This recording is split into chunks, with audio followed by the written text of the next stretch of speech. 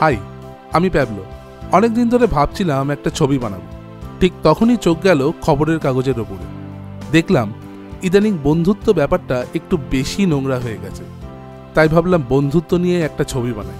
আচ্ছা বন্ধুত্ব আসলে কি?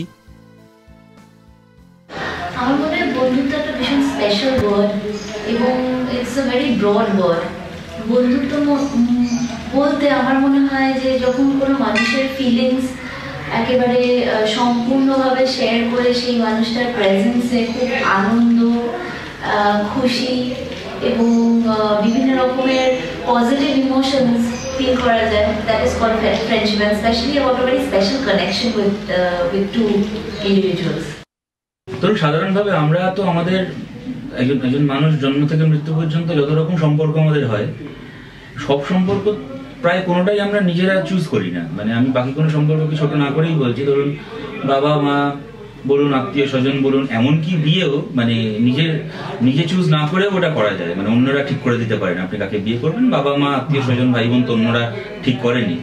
কিন্তু বন্ধুত্ব এমন একটা মানে ইউনিক একটা সম্পর্ক যেটা আমরা নিজেরা, একজন মানুষ নিজেরা ঠিক করে যে কি আমার বন্ধু হবে। মানে অন্য কেউ সেখানে আর কি ঘটকালি করতে পারে না।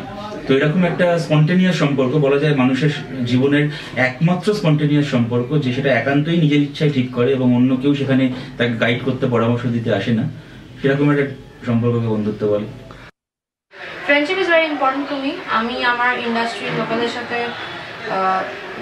শুধুই কাজ করি, সেটা আমার ফেসবুক প্রোফাইল বা ইন জেনারেল আমার লাইফস্টাইল ফলো করলে দেখা যাবে।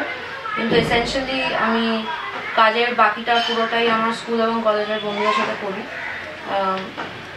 কলেজের বন্ধুদের সাথে প্রায় দু হাজার ছয় থেকে আলাপ আর স্কুলের বন্ধুদের সাথে সেই তিরানব্বই চুরানব্বই থেকে আলাপ। থ্যাঙ্কফুলি তারা রয়ে গেছে।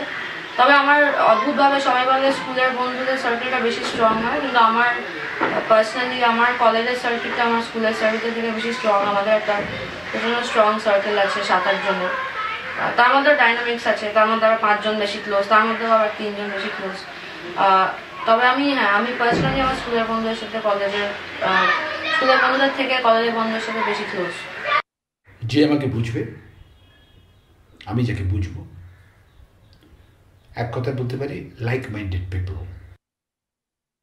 বন্ধুত্ব ইজ ফান আমার কাছে তো খুব রিলিফের একটা জায়গা।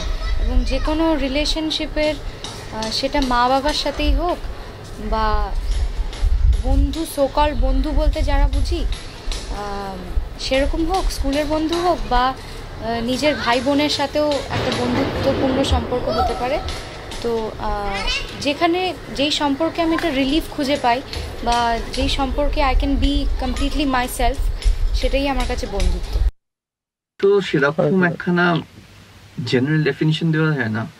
কিন্তু আমার কাছে সেটাই বন্ধুত্ব যেখানে যার সঙ্গে আমি নিজের সব কিছু শেয়ার করতে পারব কোনো এনিমেশন থাকবে না যার সঙ্গে সবচেয়ে বেশি কমফোর্টেবল এই কয়েকটা প্যারামিটার আছে সেগুলো যদি মিট করে তবেই তার সঙ্গে বন্ধুত্ব। আহ, উৎসবে দুর্ভিক্ষে রাষ্ট্রবিপ্লবে রাজদ্বারে যতিষ্ঠতি সবান্ধব আমার চোখে বন্ধুত্ব হচ্ছে পৃথিবীর একমাত্র সম্পর্ক যে সম্পর্কটা কোনো স্বার্থ নেই।